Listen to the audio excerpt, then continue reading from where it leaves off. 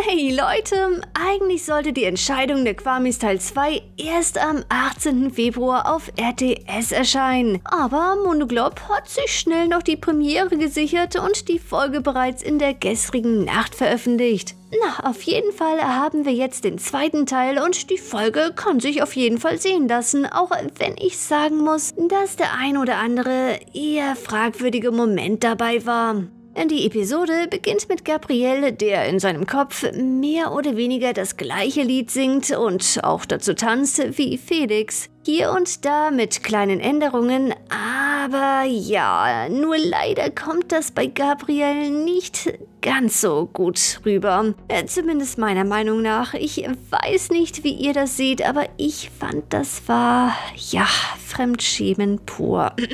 Zugegeben, als er dann von Nathalie kurz wieder der Alte war, musste auch ich lachen, aber Nathalie dachte hier vermutlich auch, dass er nicht mehr alle Tassen im Schrank hatte. Er erzählt ihr, wie einfach es doch war, die neuen Träger vom Katzen- und Marienkäfer herauszufinden, nämlich Zoe und Alia, die unklugerweise während ihrer ersten Mission die Alliance-Ringe trugen, die munter flockig deren Geschwindigkeit, Strecke und Schritte verfolgt haben. Die moderne Technik lässt grüßen. Er begibt sich selbst aufs Schlachtfeld oder besser gesagt in die Mensa voller Schüler, um diese auszuspionieren und auf einen Moment zu warten, in dem er zuschlagen kann. Dafür verwendet er das Bienen, Maus, Hahn, Ochse und das Pferde-Miraculous. Zuvor plant Nino mit den anderen Mitgliedern des Widerstandes allerdings noch auf sehr dramatische Art und Weise, wie man im Falle einer zukünftigen Akkumatisierung am besten vorgehen solle. Und versteht mich bitte nicht falsch, ich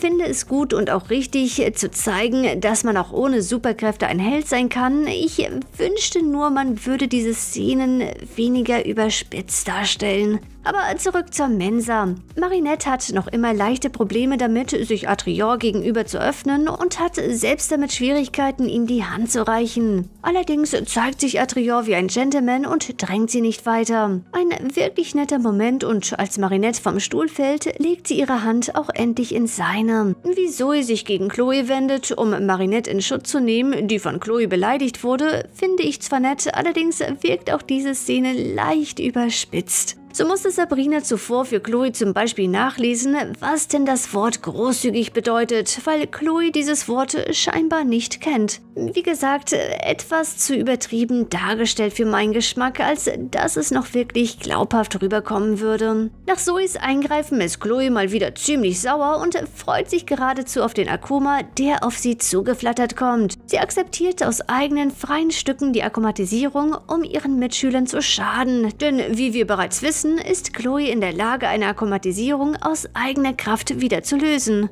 Das grausame Verhalten gegenüber den anderen ist demnach also leider ebenfalls als freiwillig zu betrachten. Monarch gelingt es in der Zwischenzeit, sowohl die Quamis als auch ihre Besitzer zu betäuben und die Miraculous an sich zu nehmen. Tiki und Black versuchen noch zu fliehen, aber leider ist das natürlich unmöglich und so benutzen beide eigenständig ihre Kräfte und versetzen die Stadt in heilloses Chaos. Tiki sendet einen Glücksbringer, der später als Ablenkung für Monarch dient, zu Marinette. Black hingegen opfert sich selbst und zerstört sein eigenes Miraculous, damit Monarch die Kraft nicht zur Verfügung steht. Nun hört sich das natürlich heftig an, aber solange nur der Glücksbringer am Ende eingesetzt wird, kann ja alles wieder rückgängig gemacht werden. Bis dahin aber ist der Ring gänzlich zerstört. Monarch wird zu Monarch Bug und als die echte Ladybug in einem dürftig hergestellten Kostüm auftaucht, entreißt er ihr den Glücksbringer, um den Ring wiederherzustellen. Natürlich handelt es sich dabei aber um eine Fälschung. Marinette und der Widerstand setzen alles ein, um die Ringe wieder zurückzubekommen und es ist Adrien, dem das schließlich gelingt, sodass Marinette sich wieder verwandeln kann und alles wieder ins Lot kommt, inklusive das Guts Miraculous samt Black. Eine kleine Kritik an dieser Stelle wäre aber, dass der Kampf schon sehr zum Vorteil der Schüler ging. Gabrielle standen gleich mehrere Kräfte zur Verfügung und er hat sich dennoch relativ leicht überrumpeln lassen, aber gut, sei es drum. Nett hingegen an dem Kampf war der Moment, in dem Monarch Atrion so unglaublich feindselig ansah. Er ist ja schließlich immer noch sein Sohn. Was würde man bei diesem Blick ein Geh auf dein Zimmer erwarten? Also da war ich doch ganz froh, dass sie es mit reingenommen haben. Am Ende kehren Black und Sticky wieder zu ihren ursprünglichen Besitzern zurück und ja, das war auch schon die Folge. Ich fand sie zwar gut, aber meiner Meinung nach gab es auch schon deutlich bessere. Doch wie findet ihr diese Folge? Wie hoch würdet ihr sie auf einer Skala von 1 bis 10 bewerten? Schreibt es mir gerne in die Kommentare.